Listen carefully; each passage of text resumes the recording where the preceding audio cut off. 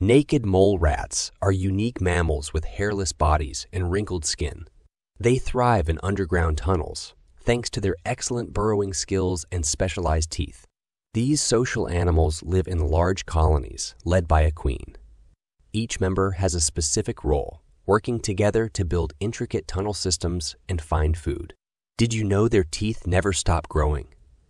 To maintain them, they constantly gnaw on roots and tubers they find in their habitat. Their diet consists of plant roots and bulbs.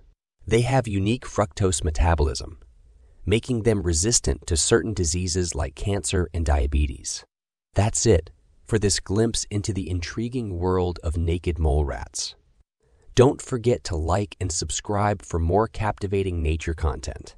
Until next time, keep exploring.